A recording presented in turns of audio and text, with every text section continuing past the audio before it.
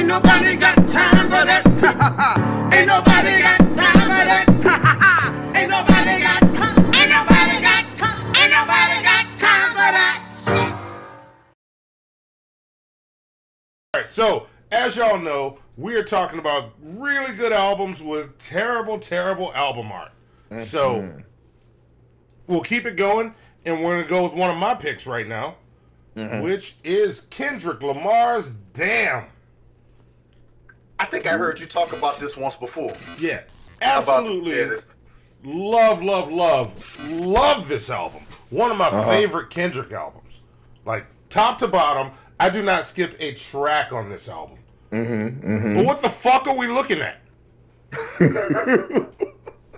Why this? Why this? What what is it about the damn album? T- tell me, like, what It's- is it that you find so off-putting about this? It it looks completely unfinished, and it, that that picture looks like a filler picture. Like they're waiting to get the actual picture of Kendrick they want to use. What is the face he's making? What is he trying to do? I, I don't understand, and I don't understand why "damn" is so hard to read in at certain angles. I it it just doesn't do anything. I I I, I don't get it. I don't get it. like, I don't get Kendrick what's happening in any of this. Okay. In Well, okay. this. I, I so Wikipedia has a write up about the, the artwork of this project as well. It says April 11th, 2017, Lamar revealed the cover artwork for Damn. The album cover was designed by Vlad Sepetov, who created the album covers for Lamar's last two projects, To Pimp a Butterfly and Great Untitled Unmastered. You know, I never Great thought that cover. Untitled Unmastered album as an actual Kendrick album. It was all Like I never, I. I always think about it as just like an unreleased collect. I mean, just a release collection of random songs. I never thought about it as a project. You know, we need to come back to that in a second.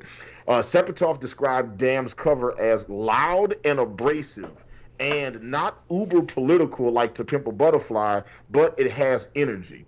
Sepetov goes on to say that the decision to put the parental advisory sticker in its unconventional position was so it could be part of the design instead of an afterthought. Uh, Billboard listed the cover as one of the best of 2017, dubbing it both memeable and memorable. Monty, your thoughts? no, no, no. That is that is an artsy way to cover up that I did some shitty design. That's all I heard right there. This it is none of those words. He used a bunch of words, but he wasn't describing that. Wait, good. Put the cover back on the screen. He said he wanted it to be loud and abrasive, but All right, not stop right there. political. Stop right there. Loud and abrasive. Let's look at this. What the fuck is loud and abrasive about this? Kendrick I mean, looks right- like he's about to pass out or take a nap. hmm and Damn is just up there big and red and unfinished. I don't mm-hmm. mind. I, I get the the design concept of going out of the borders and everything, but it looks mm-hmm. unfinished. Okay. But what's loud and abrasive about it? There's no loud. There's no abrasive.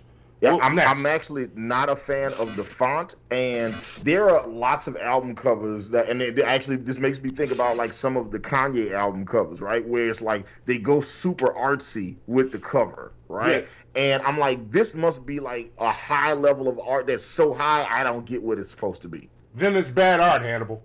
Like people, here, here's my thing with art, and mm-hmm. I just want to break this down real quick. People always Okay, go go. I, I don't, I don't understand the art. I don't know what I'm looking at. I don't know what I'm seeing. Mm-hmm. That means you're looking at bad art, because the every artist's purpose is to convey a feeling or an emotion mm-hmm. or make you feel something. You're supposed to look at that piece and feel a thing. It's it's as Ace Wonder brought up earlier. It's like having to explain the joke. You should never have to explain your art. People should walk up to it and go, "Oh my God, that's that. I feel this, this, and this. That's what I was trying to do. I hit the mark." That's art. There's there's no there's no higher level to it of understanding. You don't have to be a certain level of intelligence to understand good art. You just have to be human and feel things. If the artist did his fucking job. Mm. Mm. Yeah. You know, like like like like I, that, it's funny because like our head songwriter Cole Love often says very similar things about art when he's speaking about uh, uh, music and, and being able to tap into feelings, um, like having the listener be able to tap into certain feeling, like like when they hear the song. They should get what the song is when they hear it, as Yes. opposed to you having to explain to them Yeah. what the song is. Yeah, you should never have I- to explain your art. Music is y'all y'all make art too. You should never have to explain your art. Your Mm-hmm. job is to convey your emotion through your art. Mm-hmm. Ju- Juma P said it's like it's like gangster off the wall. uh-huh. You know, listen, they got it in the red font because you know he's a blood. You know, he's supposed. I think Kendrick is, is supposed to be blood. I don't know if he's Piru or not, but I yeah, I think he. I'm pretty sure he's he's a blood. Uh, oh, I, you know what? I don't know what his gang affiliations are, if any. I, I thought Yeah. he leaned red, but I'm not entirely sure. Yeah. Um, I've never liked that font. Right? It just seems. It looks. It's just Times New Roman. Yeah, it looks cheap. Yeah, it's because it's Times New Roman. Yeah, it looks cheap to me. Like when that, like this, this cover Or has always Garamond. looked. It might be Garamond. I just always looked cheap to me. No, Garamond looks a no. Garamond looks a little less cheap. The curves are smoother. That's Times. Okay.